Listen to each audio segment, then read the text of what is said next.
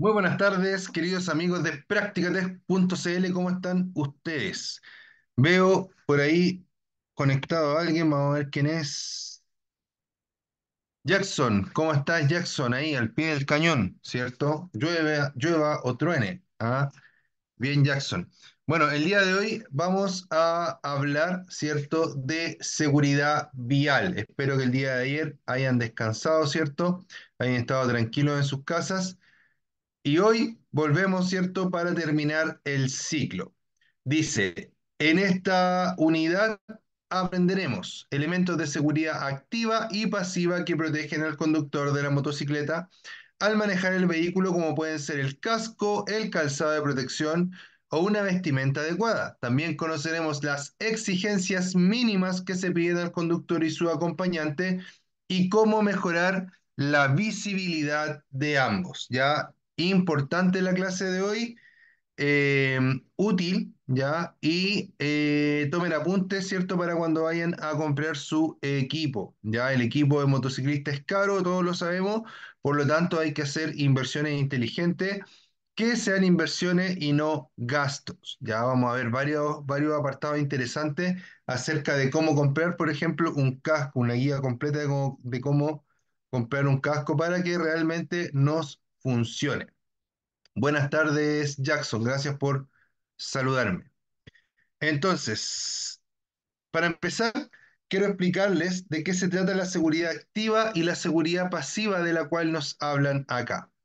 Dice que elementos de seguridad activa y, y pasiva protegen al conductor de la motocicleta al manejar el vehículo. ¿Ya? Entonces, ¿qué es la seguridad activa? La seguridad activa es todo lo que esté dispuesto en el vehículo para evitar accidentes, ¿ya? Y entonces, ¿qué es la seguridad pasiva? Es todo lo que esté dispuesto en el vehículo o en su, en, este caso en el piloto, ¿cierto? Todo lo que podamos hacer para, en caso de que tengamos un accidente, minimizar las condiciones. Minimizar, perdón, no las condiciones, sino minimizar los, eh, las consecuencias. Ahí sí se me cruzaron los cables. Minimizar las consecuencias del accidente, ¿ya? La activa, por ejemplo, puede ser un sistema de ABS, ¿cierto? Que permite maniobrar mejor la moto en situaciones límite. Y eh, la seguridad pasiva, por excelencia, el casco. ¿Por qué? Porque ojalá que nunca averigüemos si el casco era bueno o malo pegándole un cabezazo al suelo, ¿ya?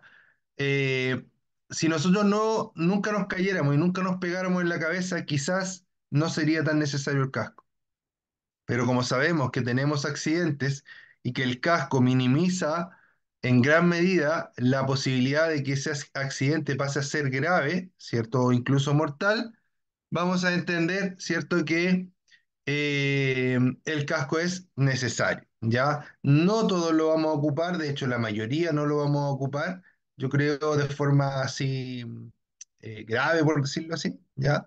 Pero cuando lo necesitemos, tiene que estar puesto. Tenemos que disponer de nuestro casco de seguridad, ¿ya? Entonces, elementos de seguridad pasiva. Dice que los motociclistas sin práctica, y ojo que los con práctica también, esto aplica para todos, pueden verse envueltos con facilidad en situaciones riesgosas por ello, y en todo momento, usted siempre deberá utilizar correctamente los elementos de seguridad pasiva, dice en el punto 1. Como lo dice en el punto 1, ¿cierto?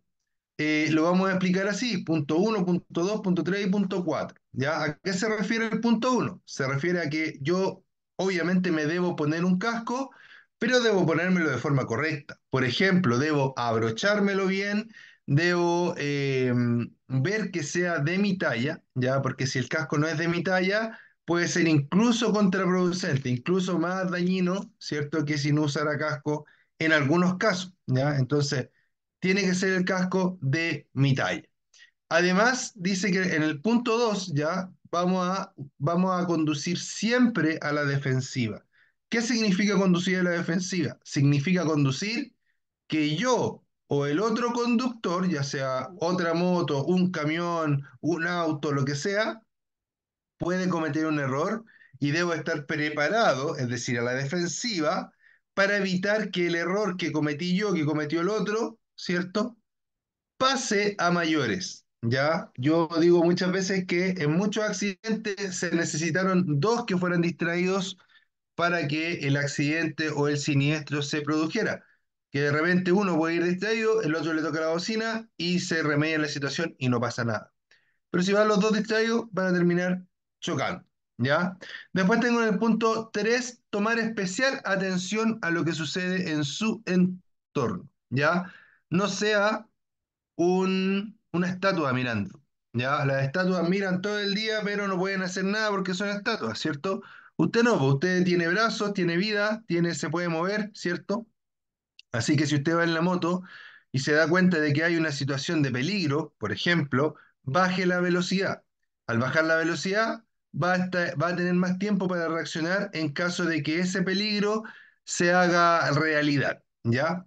Después, en el punto 4 dice, asegúrese siempre de ver, usted tiene que poder ver, por ejemplo, en el día de hoy, asegúrese de que usted puede ver hacia afuera de su casco y que su casco no está, por ejemplo, tan eh, empañado. Ya a veces, a mí me pasa, eh, no sé si seguido, pero me ha, me ha pasado más de alguna vez en que voy manejando en el auto o voy manejando en la moto y veo que el día está como bien gris, bien oscuro así, y resulta que en realidad el día sí está gris, pero no tanto como lo veo yo. ¿Por qué? Porque no me doy cuenta que mi casco va muy empañado o mi parabrisas va muy empañado. ¿Ya? Entonces después desempaño y me doy cuenta que en realidad el día estaba más luminoso de lo que yo lo estaba viendo hasta ese momento.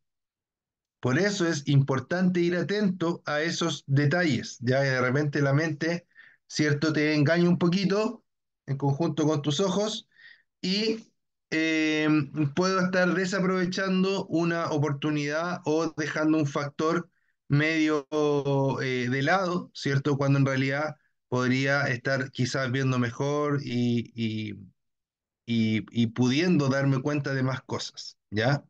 Después, aparte de llover, ya que tiene que ver con la mica del casco, que no se esté empañando, que no esté sucia, el parabrisas lo mismo si es que fuera en un auto, ya. Mi capacidad visual, yo tengo que estar seguro de que mi capacidad visual es suficiente para poder enfrentarme a estas diferencias, ya. Entonces, después, eh, ver y ser visto, dice, ser visto tiene que ver con que los demás me vean a mí, ¿ya? Y para ello, lo más importante es que nosotros podamos siempre, ¿cierto? Para nosotros es que nosotros podamos siempre eh, tratar de vestirnos de forma que destaquemos en el ambiente. Un consejo así súper fácil es vestirse de rojo o que el casco sea rojo o que la moto sea roja, inclusive que le ponga una bandera roja a la moto también va a servir, ¿ya? ¿Por qué? Porque el rojo, el color rojo en el cerebro de los seres humanos indica peligro, ¿ya? Indica atención. Por eso acá destacaron los títulos con color rojo, ¿ya? Porque es un color que hace que se lleve la atención del que está mirando, ¿ya? Es un, es un color que llama la atención, es un color que pone en alerta al cerebro, ¿ya? Entonces, si yo veo algo rojo que viene, obviamente voy a eh, ponerme en alerta y mi mente va a mirar o mis ojos van a mirar hacia allá y, me- y se van a dar cuenta los demás conductores de que yo estoy ahí. Si no puede ser de color rojo, eh, colores reflectantes también sirven mucho. Ya lo que debo evitar en el fondo para ser visto de mejor forma son los colores oscuros, el negro, el plomo y yo personalmente también trato de evitar el blanco, ya que antes yo recomendaba esos tres colores, blanco, plomo y rojo, pero estuve viendo ahí algunos, algunos documentos y algunas otras personas que hablan de esto y en realidad no, no, no toman el blanco como un color peligroso, ¿ya? Pero yo sí lo hago porque en algún momento vi eh, en, en las diferencias de luces y sombras que pueden haber, sobre todo en verano cuando hay harto sol, eh, cuando algo es blanco, un auto blanco, por ejemplo, puede tender a desaparecer al cerebro, ¿cierto? eh, por ejemplo, una avenida que tiene, eh, que está cubierta por árboles, ¿cierto? Y que en algunos espacios cae el sol, etcétera, puede producirse un fenómeno por ahí, ¿ya? Por eso, pero lo principal, evitar los colores oscuros, negro y plomo, ¿ya? Y lo mejor, los mejores colores para vestir, entre más vivos, mejor, ¿ya? Blanco, naranjo fosforescente, eh, rosado fosforescente, etcétera, ¿ya?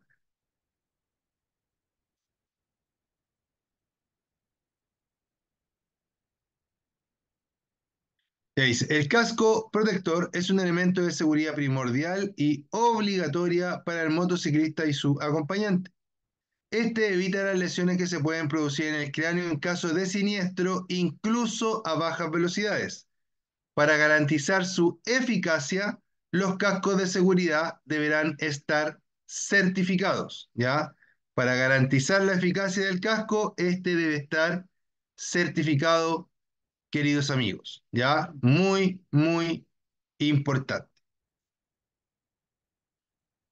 Los cascos deben llevar impresa en su interior de forma obligatoria la siguiente información relevante, ya, pero antes de eso voy a explicar el tema de las certificaciones en los cascos. El casco es un elemento de seguridad, por lo tanto nos vamos a dar cuenta que es malo solo cuando ya sea tarde, ¿ya? Para evitar eso, las compañías de casco, ¿cierto? Se someten a certificaciones por, normalmente son estamentos eh, gubernamentales, ¿cierto? O asociaciones que ponen a prueba los distintos productos y le entregan una certificación. ¿Ya? Hay hartos videos en internet eh, que permiten, ¿cierto?, darnos cuenta de qué es una certificación y cómo trabajan más o menos, ¿ya? Yo les voy a contar que las certificaciones más comunes que vamos a ver en cascos para la calle, ¿cierto? Van a ser la SE y la DOT, ¿ya? DOT es, o DOT, como le dicen normalmente, es eh, una certificación gringa, ¿cierto? Eh, la verdad es que no se considera como de las más exigentes, pero hay otra que se llama SE, ¿ya? Esas dos normalmente están en los cascos, en los más comunes por lo menos. De esos cascos, ¿cierto? O de esas dos certificaciones, por lejos, la que yo más recomiendo es la europea, porque en esos temas los europeos son muy serios, ¿ya? Y estas normas también se van actualizando cada cierto tiempo. Si no me equivoco, ahora vamos en la SE 2205, ¿ya? Eh, es un poco complejo eh, explicar así de forma rápida y tampoco es necesario para lo que ustedes están buscando ahora, que es, eh, que es aprobar la, la licencia de conducir, ¿cierto? Pero es importante que sepan que esto existe para que después ustedes puedan buscar información al respecto y puedan tomar las mejores decisiones. Aparte de estas certificaciones que recién les hablé, existen otras que son mucho más refinadas y también más caras, ¿ya? Existe la SNIL, ¿ya? Que está más o menos en un término medio, y, y existe también la FIM, F-I-M, que significa Federación Internacional de Motoci- de Motociclismo, ¿ya? Eso también, ¿cierto? Tienen, normalmente tienen otro precio esos cascos que te dan ese tipo de certificaciones, ¿ya? Eh, pero desde la SE 2205 hacia arriba, eh, vamos a tener una buena protección, ¿ya? Lo importante es que esté certificado. De repente, eh, es difícil que uno piense que va a comprar un casco que vale un millón de pesos, ¿cierto? Pero existen, ¿ya? Y eh, importante entender que no porque valga un millón de pesos, ¿cierto? Y yo tenga uno que valga cien mil pesos, uno me va a proteger 10% y el otro me va a proteger 100%. No, no funciona así, ¿ya? De hecho, los cascos más baratos que tienen buenas certificaciones muchas veces protegen lo mismo que los cascos más caros. ¿Cuál es la diferencia? El confort del casco. Por ejemplo, un casco súper caro, una GB Pista, por ejemplo, eh, está construido en fibra de carbono y obviamente la fibra de carbono es mucho más liviana, lo que genera un casco más liviano también, ¿ya?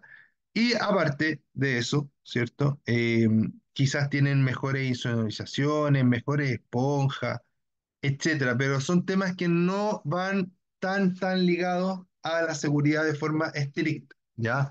O al menos al cumplimiento de la norma de seguridad que es el, el DESDE, por decirlo así, ¿ya?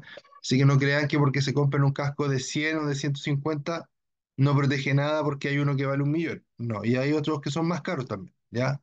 Muchas veces lo que se paga en un casco caro es, eh, aparte de, la marca, ¿cierto? De la publicidad, eh, el desarrollo, etcétera. y que también no se ven tantas unidades de ese tipo de casco, por lo tanto, cuando se producen tienen que ser más caros que los que se venden muchas unidades, ya como funciona el mercado actual. Entre más se venda, más, unidades se vendan, más va bajando el precio.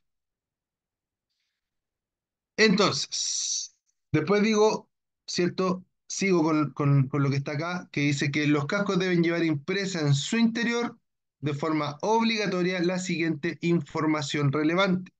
¿De qué se trata eso? Se trata de que esto de las certificaciones, por ejemplo, entre otras cosas, debe estar en una etiqueta pegada por dentro del casco. El casco tiene la parte más dura, por, por decirlo así, y además tiene la, eh, la esponja, ¿ya?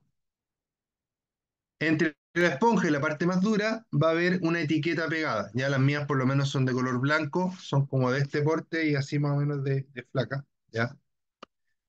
Eh, Normalmente las mías por lo menos vienen en dos idiomas, ya es como que la misma información, pero una en español, la otra en inglés, o una en inglés, la otra en japonés, etcétera, ¿ya?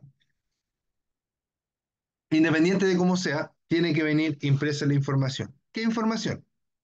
Al menos la marca, el modelo y el origen, ¿ya? ¿Qué marca es? ¿Qué modelo es? Y dónde lo fabricaron. Después, la talla. Y además de la talla, ¿cierto? Me tiene que indicar las normas a las que se ajusta, las normas que cumplió ese producto para considerar que es un producto eh, decente, ¿cierto? De calidad, etcétera. ¿Ya?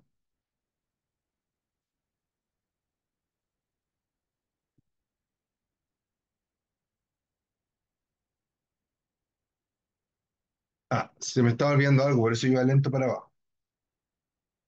Aparte de eso, algo muy, muy importante que tienen que saber en los cascos es que los cascos tienen fecha de caducidad, o sea, no tienen fecha de caducidad, pero sí tienen fecha de fabricación. y se considera que los cascos a los 5 años ya no se consideran seguros como el primer día. ¿Ya? A los 5 años se considera que un casco ya empezó a perder sus propiedades, ¿cierto? Y eh, de ahí para adelante no se asegura cómo vaya a funcionar el casco. ¿Ya? Entonces lo ideal es que los cascos vayan siendo reemplazados cada 5 años. ¿Ya? Que los cascos vayan siendo reemplazados cada cinco años. En el caso de los, de los cascos de materiales compuestos, como la fibra de carbono, esos duran un poquito más, tengo entendido, creo que como 7 u 8 años, ¿ya? Pero ojo ahí también, ¿ya? ¿Me sirve comprar un casco usado, un casco viejo? No, no me sirve porque no me va a proteger nada, ¿ya? Me sirve a lo mejor, a lo mejor, para que no me saquen un par, pero no me sirve para que me proteja la cabeza en caso de accidente. Es increíble la cantidad de personas que compra cascos, ¿ya? Usados.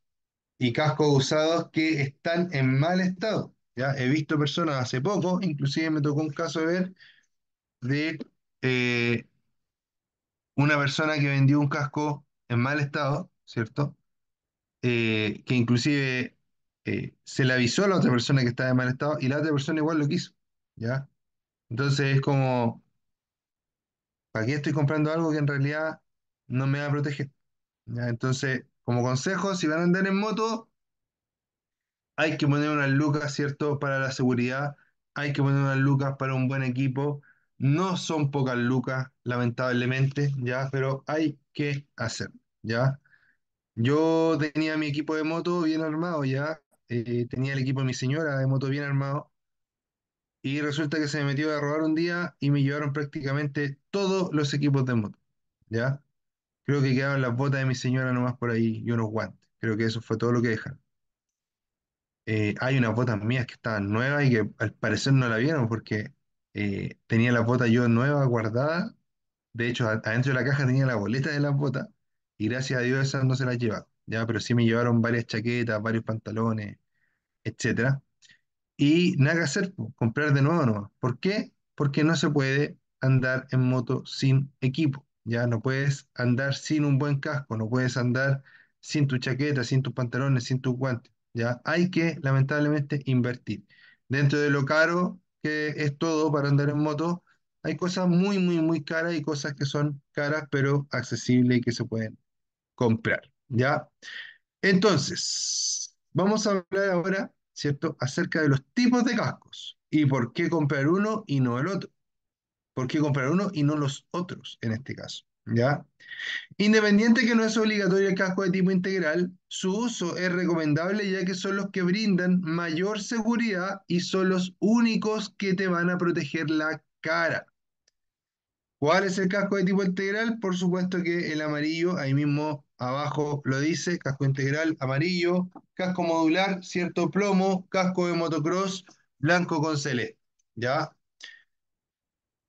¿Por qué? Uh, disculpe. ¿Por qué el integral y no el modular? Por ejemplo, si el modular cuando yo bajo la careta, ¿cierto? Igual me protege la cara, entre comillas. Porque lo más probable es que si yo me compro un casco modular, voy a andar casi siempre con el casco abierto. Y si yo tengo un accidente, me caigo de la moto, el accidente ni el tiempo no va a parar para que yo me baje la careta y después caerme. No, lo más probable es que voy a llegar al suelo, ¿cierto? Y voy a arrastrar la cara contra el suelo. Aunque estuviera cerrada, se considera que este tipo de casco es menos seguro porque podría terminar abriéndose, ¿cierto? En caso de caer.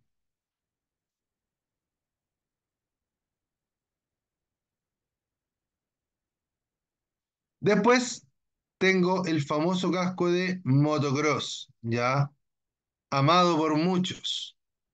Este casco de motocross es bien bonito, bien estiloso, bien juvenil, podríamos decirlo así, pero es para hacer motocross, no para andar en la calle, ¿ya? ¿Por qué? Porque este casco se usa con antiparras y las antiparras más que nada protegen de la tierra, los golpes, no sé, agua que pueda saltar a los ojos, etcétera, ¿ya? Pero no me protegen de un impacto o de un gran impacto, porque la antiparra no va sólidamente unida al casco. Si fuera sólidamente unida al casco, puede ser que me proteja, ¿cierto? Un poquito más, pero la verdad es que no es así.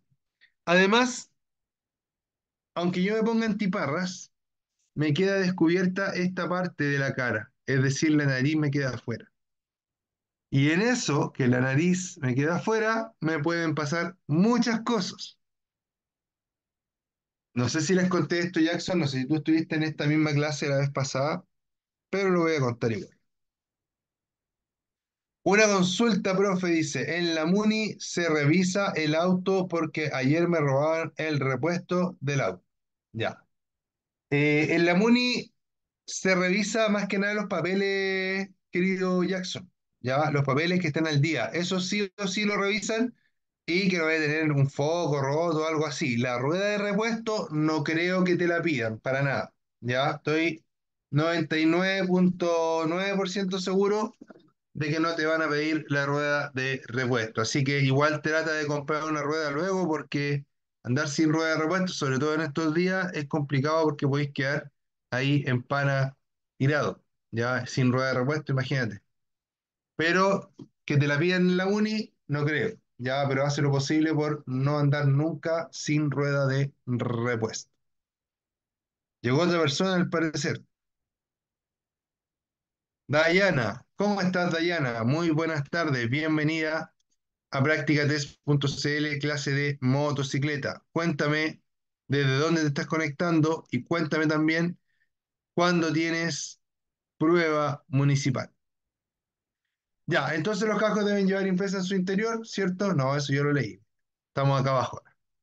Ya, entonces estamos aquí, ¿cierto? En el tema del casco del motocross. El casco del motocross es bonito y todo, pero no me sirve, ¿por qué? Porque me deja la nariz afuera. Ya, en un, hace unos varios años atrás, ya como hace 13 años atrás, yo tenía una moto y eh, andaba con un casco de motocross, ¿ya? Iba a San Antonio en la moto. ¿Qué pasó? Si conocen los pololos, los bichos que se llaman pololo, de repente sentí que algo me pegó en la cara y me empezó a doler mucho este lado de la cara y el ojo empezó a lagrimear y todo eso. No sabía qué era, me tuve que parar a un lado, ¿cierto? Sacarme la antiparra, sacarme el casco Y de repente sentía algo aquí, ¿cierto? Traté de sacarlo así haciendo presión con el aire, hasta que salió, y no me van a creer, pero tenía metido acá arriba, por dentro de la nariz, un pololo, así, de este porte, ¿ya? Y no sería nada eso, estaba vivo, ¿ya? El pololo me entró por la nariz, donde yo venía, debo haber venido como a 120 más o menos, me entró por la nariz, me llegó casi hasta el ojo, por dentro de la, de la nariz, o yo lo sentí ahí por lo menos, luego lo saqué, cayó el pololo al suelo, empezó a mover las alas, y se fue volar, ¿ya? Ni un daño para él, y yo ahí con la cara, ¿ya? Que no veía nada donde me lagrimeaban tanto los. Entonces, si yo hubiera ido en esa ocasión con este casco, nada de eso habría pasado. No habría tenido grandes problemas. ¿Ya? Otra consulta dice Jackson. Para la práctica de la moto, ¿es necesario el casco nuevo? ¿Y qué tipo de bota, y qué tipo de bota tengo que tener? No sé a qué te refieres con el casco nuevo. Tiene que ser un casco de motocicleta. ¿Ya? Y la bota que te cubra el tobillo. Ya, no es necesario que sea una bota, puede ser un, puede ser un bototo de seguridad, por ejemplo, pero que te cubra el tobillo. Ya, eso es lo mínimo.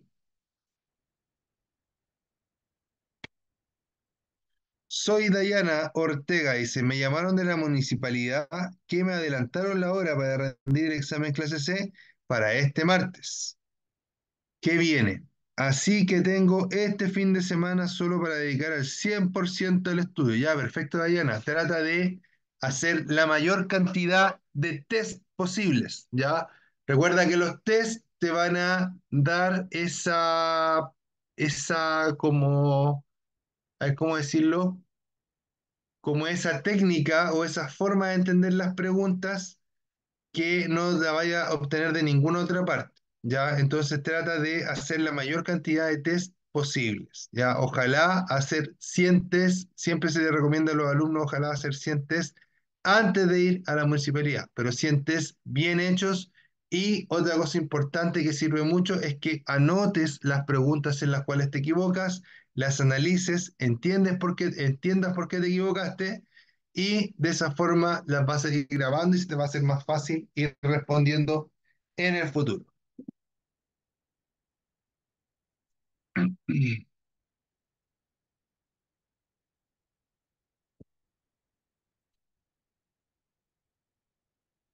Gracias a ti, Jackson, para eso estamos.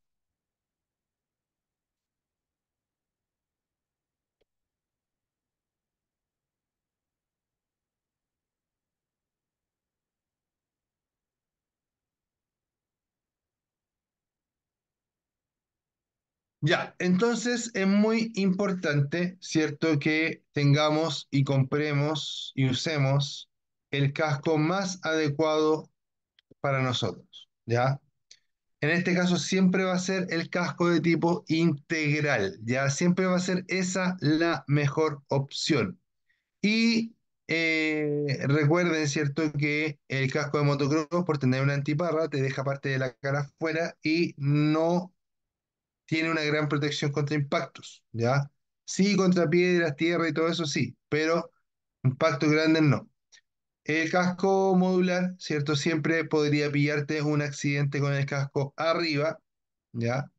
O con el casco abajo y que se terminara abriendo por efecto de los golpes que podrías recibir en la cabeza o el mentón. Y después el casco ideal, que es un casco eh, integral, ¿cierto? Que trae un gran visor con harto espacio apoyado, ¿cierto? Para que eh, tenga harta resistencia bien, bien, bien firme. Y también, ¿cierto? Eh, que está construido en una sola pieza, por decirlo así, desde la frente hasta la pera. Ya simplemente aquí el hoyito para poder mirar para afuera. Disculpen.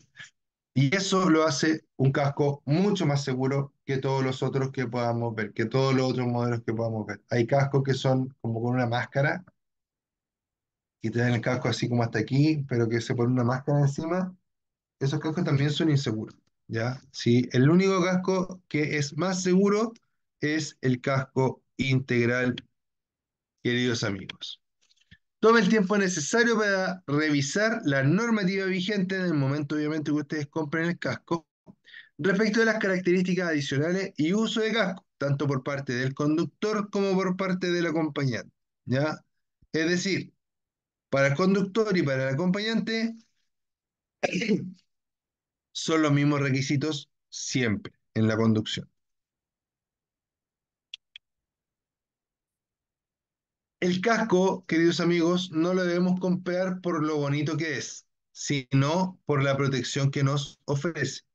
Si el casco es bonito, nos gusta y además tiene una buena protección, démosle. Pero si lo vamos a comprar solo porque es bonito, no es de nuestra talla, no nos protege, no tiene certificación, entonces no sirve para nada, ¿ya? Y puedes tener un accidente, inclusive un casco de muy mala calidad, por ejemplo. Si te caes y azotas la cabeza contra el piso, el casco se puede romper y los mismos pedazos del casco se te pueden incrustar a ti mismo en la cabeza. Entonces, perdón. Entonces es muy importante que ustedes traten de respetar toda esta normativa, ¿ya? Y entender que eh, la compra de un casco no es algo que se tome a la ligera. Dice que al momento de seleccionar un casco es importante revisar que éste tenga. Para empezar, mica incorporada que proteja los ojos. Se refiere a la mica que va aquí, ¿ya? Buena ventilación para no empañar la mica. Eh, hay micas que traen sistema... Se me olvidó, pero me estoy acordando. Pinlock, ¿ya? Que es una mica que se le pone otra mica por dentro y que esta evita la condensación, ¿ya? Es decir, no se empaña. El pinlock funciona muy bien, pero ojo que eh, hace poquito vi un pinlock, eh, una persona que conozco se compró un casco y el pin lock queda suelto por dentro. Ya la idea es que el pin lock quede más o menos apretadito, ya que quede firme. ¿Y qué pasa? Que cuando anda, el pin lock se va moviendo y le va rayando la mica del casco por dentro. Así que ahí también un, pequeño tips ya para que revisen ese, ese factor en el momento de, de comprar el casco. ¿Ya?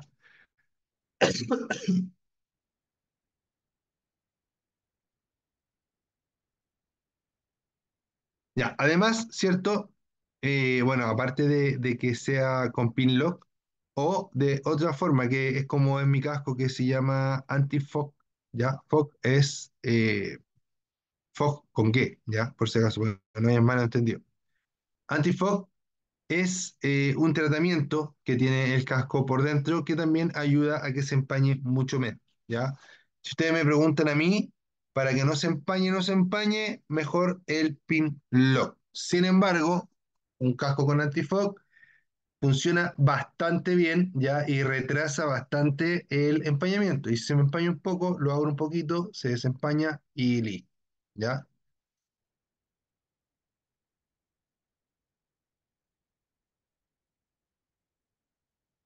Además, ¿cierto? Este casco debe tener un tamaño adecuado de modo que le quede bien ajustado, pero que no le parezca desagradable y que no le lastime incluso después de viajes largos.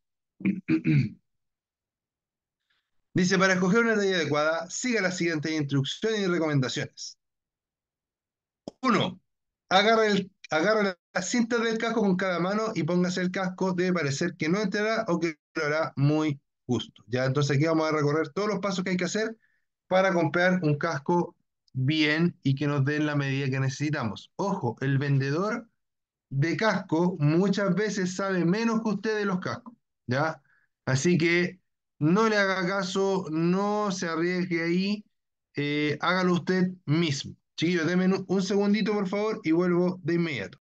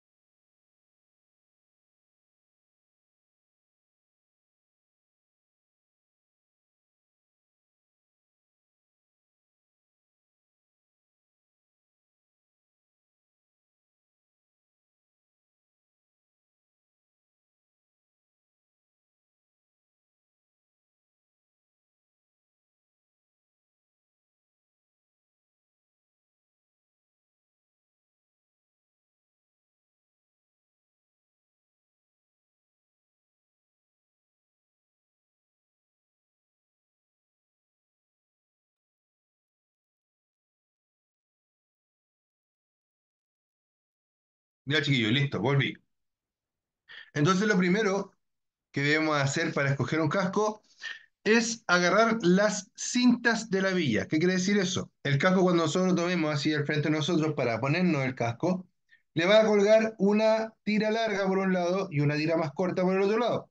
Las tomamos las dos con las manos y cuando nos vamos a poner el casco, debe parecer que el casco es muy chico para nosotros. ¿Ya? Eso está bien, es normal. Y cuando nos vamos a meter, lo que yo hago es hacer un poquito de presión hacia afuera en el casco, cosa de que pase un poquito más suave hacia abajo, pero la idea es que el casco vaya arrastrando mientras va entrando nuestra cabeza dentro de él. ¿Ya? Entonces agarre la cinta de la villa con cada mano, póngase el casco, debe parecer que no entrará o que lo hará muy justo. Además, cierto, en el 2 dice que cuando se lo coloque, vea que no apriete demasiado. Si le provoca dolor en algún lugar, debe cambiar a una talla más u otro modelo. Ya, ahí tengo algo importante en el punto 2. Me dice que cuando me lo coloque, vea que no apriete demasiado. Es decir, está bien que apriete. Tiene que apretarme el casco, pero no tiene que provocarme dolor, que son dos cosas distintas. ¿Ya?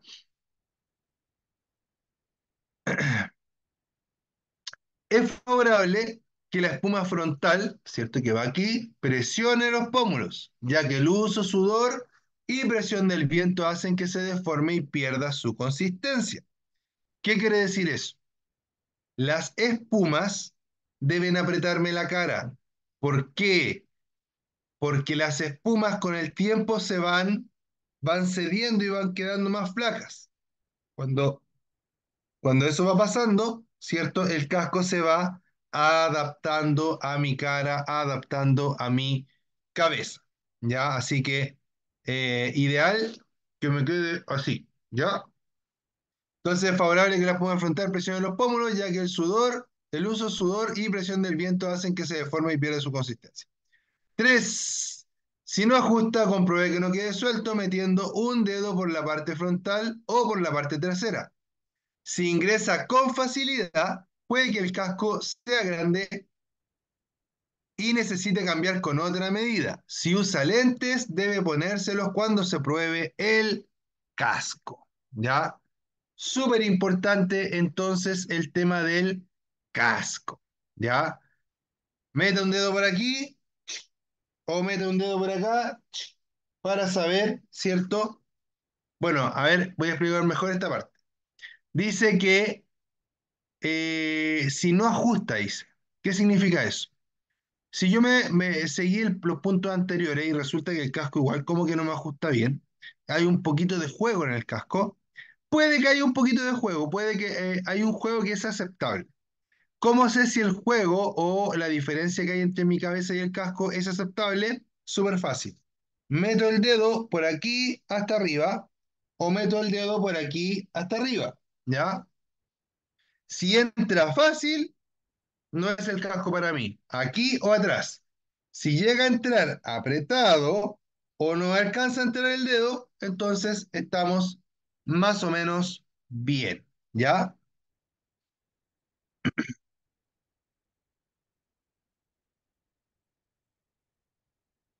Ya, y si usa lentes, recuerde, cierto, que eh, los lentes tienen que adaptarse un poquito al casco en alguna ocasión, ¿ya? Métase el casco de forma Eh, o sea, perdón, póngase los lentes cuando se pruebe el casco para que vea ahí si sus lentes son compatibles con el casco. Yo siempre digo que lo más probable es que los lentes se tengan que adaptar al casco y no el casco a los lentes, ¿ya? ¿Por qué? Porque a veces los lentes, con la mayoría de los lentes no debería haber problema, pero hay lentes que a veces son muy anchos o hay lentes que sus patitas son muy gruesas, entonces es necesario cambiarlo, ¿ya?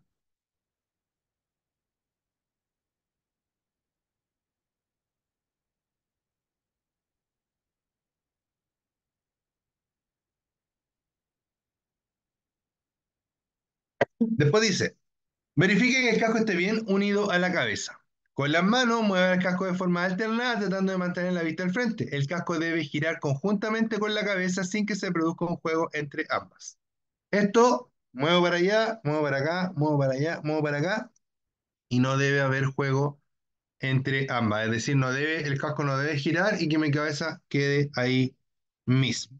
En el punto 5 dice amarre la villa y ajuste a su medida de tal forma que no le quede suelta y no le ahogue. Si no conoce la villa que está probando, pida ayuda para abrochar y ajustar de manera correcta. ¿Ya? Importante las hebillas. Hay dos tipos de hebillas más comunes que van a encontrar en los cascos que vean en venta. ¿Ya? En el mercado. Una hebilla es doble D o doble anillo, ya que es lo mismo, es la más segura, ¿ya? Pero es un poquito más lenta que otra que se ve harto que se llama micrométrica, ¿ya? La micrométrica es, es como una hebilla y una punta con dientes. Entonces uno va metiendo y va, va clac, clac, clac, clac y, y va quedando ahí bloqueado, ¿ya? Importante ese punto, queridos amigos. Entonces verifique que el casco esté bien unido a la cabeza, con las manos mueve el casco de forma alternada, alternada, ya. Después estamos en la parte de la hebilla, ¿ya? La parte de la hebilla, entonces, eh, ojalá que cuando vayas a comprarte un casco, para empezar lo hagas de forma presencial. Y segundo, ojalá que vayas con alguien más que te pueda ayudar, por ejemplo, a abrocharte el casco, etcétera, ¿ya? Entonces, consejo, siempre doy este consejo. Si usted se va a poner y sacar el casco muchas veces al día, cómprese una micrométrica, ¿ya? Si usted se va a poner y sacar el casco po pocas veces al día, cómprese una hebilla doble D o doble anillo. Las dos son seguras, pero se considera mucho más segura la de doble D o la de doble anillo, que inclusive es la que se utiliza aún en competición. Después dice que 6. Con las correas abrochadas y ajustadas, experimente que el casco no se salga. Agarre el casco con ambas manos por la parte posterior y trate de sacarlo. Si se sale, debe buscar otro tipo de casco. ¿Ya? Muy importante. Y además, los voy a dejar, ¿cierto? Con esta guía que está acá, que es de las tallas. ¿Ya?